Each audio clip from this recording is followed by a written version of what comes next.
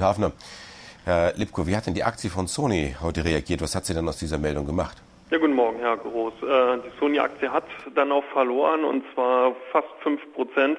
Man muss hier bedenken, dass natürlich sehr, sehr viel Spekulation bei der Sony-Aktie entstanden ist, als eben diese Strategie aufkam, dass man sich eben von der Entertainment-Sparte lösen soll, dass man hier ein IPO forcieren wollte, dass man mindestens 20 Prozent der IPO-Entertainment-Sparte von Sony sozusagen an die Börse, per IPO an die Börse bringen wollte. Das hätte den Kurs gut getan, dem Unternehmen insgesamt vielleicht nicht unbedingt, weil Sony als sich an, äh, insgesamt ja doch eher ein Entertainment-Konzern ist und dann eben in den letzten Jahren ja auch von der Konsumflaute stark getroffen worden ist. Also hier war es dann doch mehr oder weniger eher ein Geschenk an die Aktionäre, wenn es denn so gewesen wäre, aber für die unternehmensstrategische Ausrichtung wäre es weniger sinnvoll gewesen.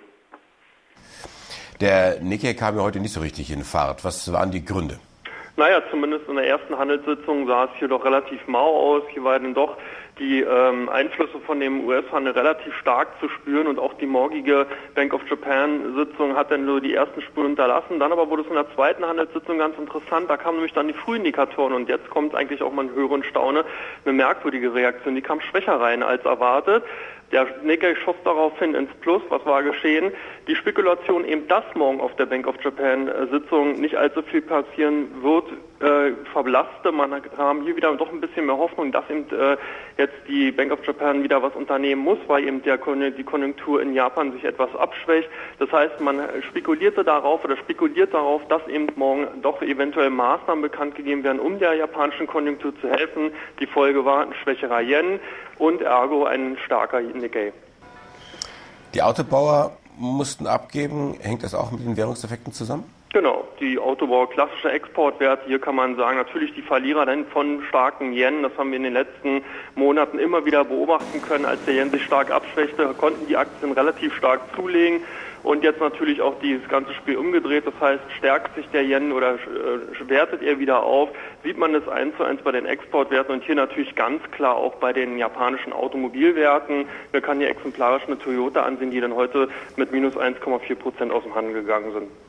China will seine Visa-Vorschriften verschärfen. Es soll nicht mehr so leicht sein, über Hongkong einzureisen. Da sind äh, etliche westliche Geschäftsleute mittlerweile fast schon gestrandet.